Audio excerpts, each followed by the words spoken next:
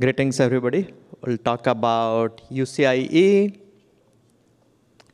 uh, which is basically an um, you know open chiplet standard for building chiplets and uh, having uh, innovations on package. So I'll do a quick overview of UCIe, the consortium, and then talk about usage models, then conclude. So we started UCIe in March of 2022, which was last year.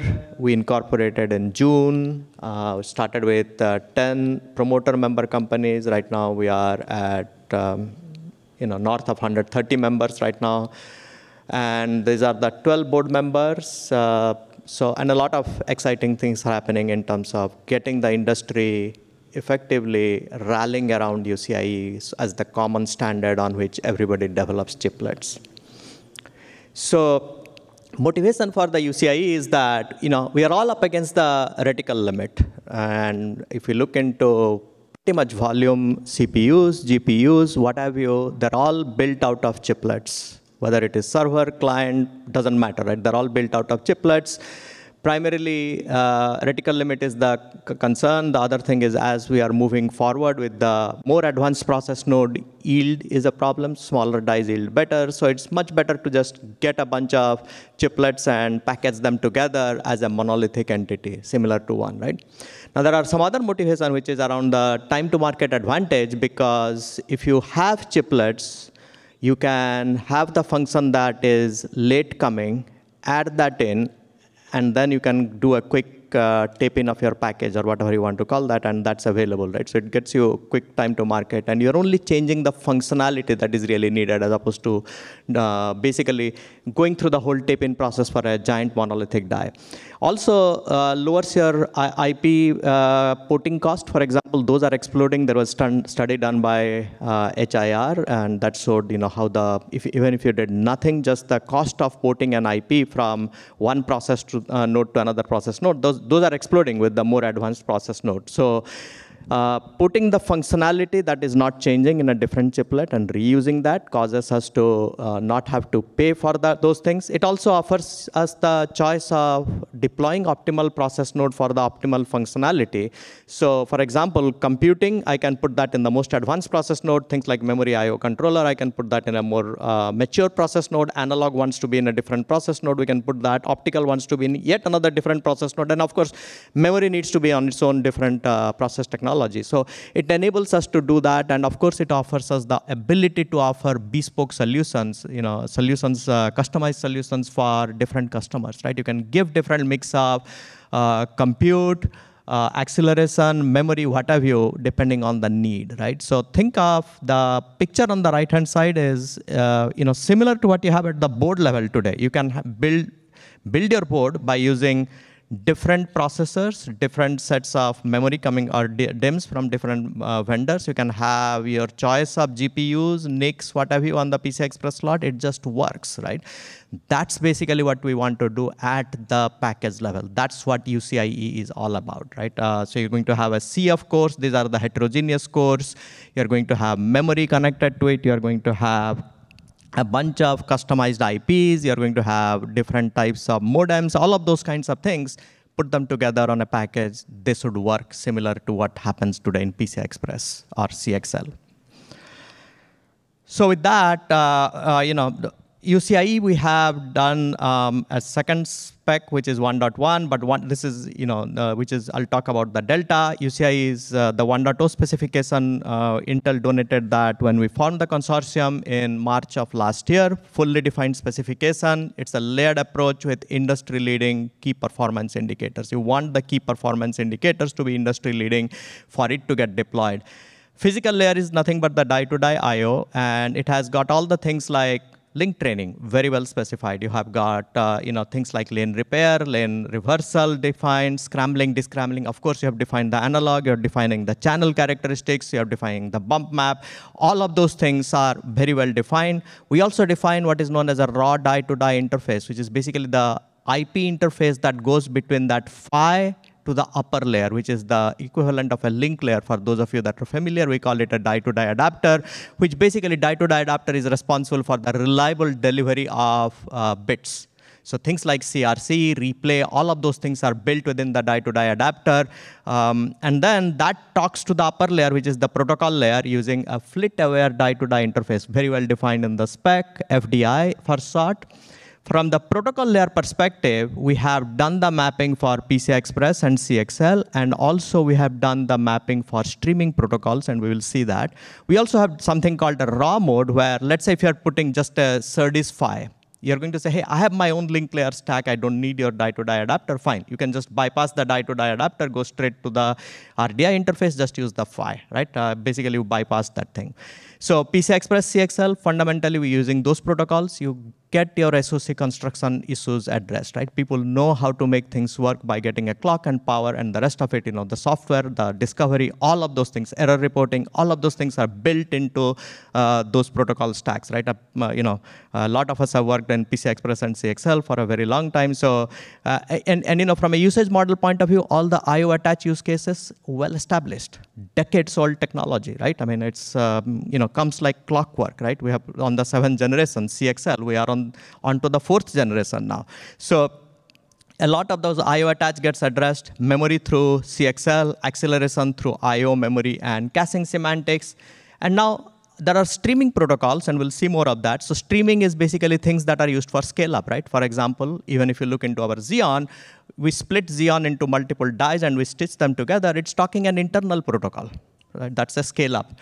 Um, so we want to make sure that those also go through this uh, interface similar to QPI today, for example, in our case, runs on PCI Express 5.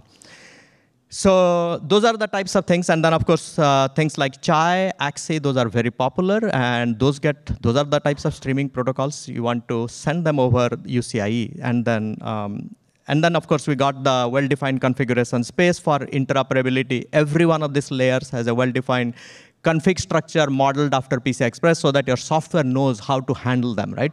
Uh, if you look into it very carefully, it's uh, it's uh, done in a way where you can build, bring in your existing software, and it will just run seamlessly. Same way with form factor management, compliance, interoperability, and then we talked about the plug and play IPs there. We support two types of packages, standard and advanced packaging. Standard is known as 2D, which is for cost-effective, longer distance, so about 25 millimeter. Uh, advanced package is 2.5D. The picture on the right-hand side shows three examples, and that's what they are. Examples, there are many more. The topmost one is Intel's EMIB. The middle one is TSMC's CoWoS. The bottom one is uh, ASE's FOCoS, right? And uh, the vision is, and uh, you know, as you will see uh, later, your dies can be manufactured anywhere and they can be assembled by anybody and it should work. Just like today, you can get your cards from anybody, design your board anywhere, put them on uh, you know, PCI Express or whatever, it just works, right? And we do that with UCIe. Now, we, we went ahead and uh, did a recent announcement with UCIe 1.1, fully backward compatible with UCIe 1.0. What we did was we added some enhancements to the automotive segment. So these are things like uh, error errors happen, so we define some configuration registers where those errors will be reported, or predictive analysis for those, those kind of things. We define some counters and things of that nature. And it's primarily for automotive segment, but also you know enterprise can use that. Then there are some new usages around streaming protocols that want to use the full stack. We introduced that. Uh, so that way the stack is there. Earlier streaming protocols were only in raw mode, but you know, people said, hey, we want to really take advantage of that die-to-die adapter, and also we want to be able to multiplex with PCI Express. We want to use, for example, PCI Express for discovery, error reporting, all of those things. At the same time, we want to use streaming protocol for doing whatever we are doing. Uh, we also did cost optimization for advanced packaging, and we did some enhancements for compliance testing. So those are some of the enhancements that we did with UCIe 1.1 while being fully backwards compatible. Usage models for UCIe, uh, of course, SOC construction at the package level. We talked about that. We want uh, to make sure that you know innovations that are there at the board level, we should be able to do that at the package level today with UCIe.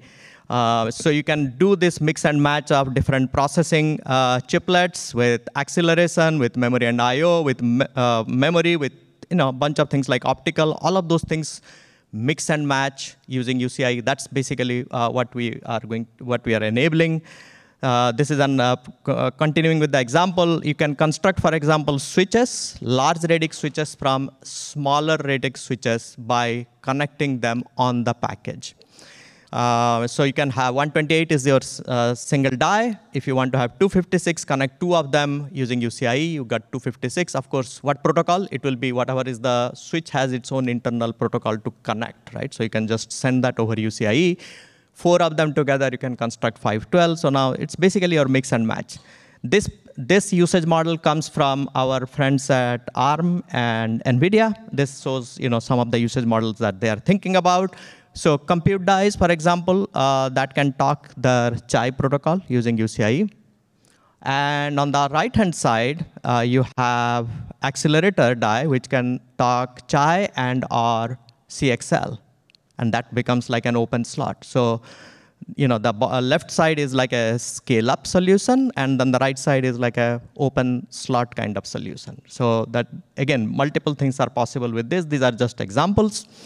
Uh, the other interesting thing that we had done with UCIe 1.0 is this notion of uh, UCIe retimer is what we call it. And the, fundamentally, the usage model is co-packaged optics. So we have defined how the electrical side should work. We have defined all the pause points where you know you talk, you know, the optical, there are multiple technologies out there. So whatever is the choice of optical technology, it can say, hey, I'm not quite ready. You know, we go through all of those most uh, definition in the UCIe spec.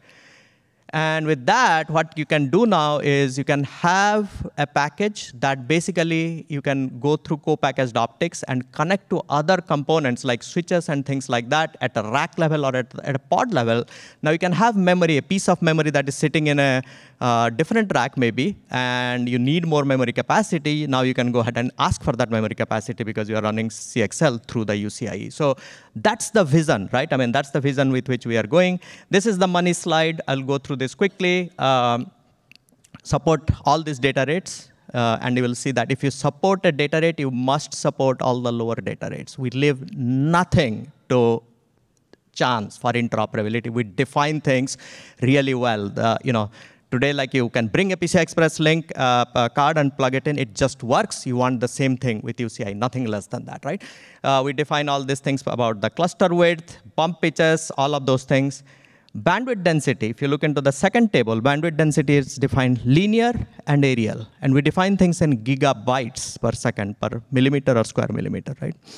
So take a look into the advanced package one. It is 188 through 1350, which is, if you run at 4 gig, 64 lanes gives you 188 gigabytes per second per square millimeter. If you have, if you run at 8 gig, you're going to get 376. If you run at 32 gig, you are going to get 1350 gigabytes per second per square millimeter. That's a lot of bandwidth. If you look into PCI Express, for example, Gen 5, the bandwidth density is less than 20. Same thing for anything else. N networking, uh, it's fundamentally, you know, so you're getting an order or two magnitude better bandwidth density, which is what you would expect because these are internal uh, on-package interconnect. These are well-defined. These are, you know, those are not as bad. Uh, you don't have discontinuities, all of those things, right? Power efficiency wise, 0.5, 0.25 picojoule per bit. External interconnects are an order of magnitude more, 5 to 10 picojoules per bit. Uh, low power entry and exit, very low numbers, so less than a nanosecond, which means that you can turn these things on and off quickly. So all of these things, and then of course latency an order of magnitude lower. Now, for the ingredients, these are the four sets of things, and we, uh, we, you can take a look at it. We have all of those. Here's the interesting thing. We announced the, or we demonstrated the interoperability using UCIe last month at Intel Innovation. This was Intel chiplet with a Synopsys chiplet designed in TSMC process technology node. And we packaged them using Intel's EMIB technology. Think about it. Last year, March, the spec came out. Companies around the world have been designing. And this year, you have chiplets demonstrating interoperability running at full speed. Now, that's the power of an open ecosystem, and the journey continues. So with that, I'll take the questions, if we have any time. We don't. We don't, okay. I'll be outside for you to take questions.